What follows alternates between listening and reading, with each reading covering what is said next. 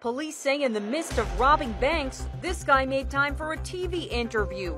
A reporter in Georgia was doing a traffic story when she asked for his opinion. She says before going on camera, he asked to take off the same headwear you see in these surveillance pics. Gwinnett doesn't really have its own public transportation, so MARTA coming out here would definitely help out a lot. Right after the interview, police say he even moved in on another bank. His MO, handing bank tellers a paper with demands claiming to be armed. When police saw the alleged suspect on local news, they contacted the reporter. But I never thought an alleged bank robber would let me interview him in between his hits. She gave police his name and they were able to track him down. And her next headline was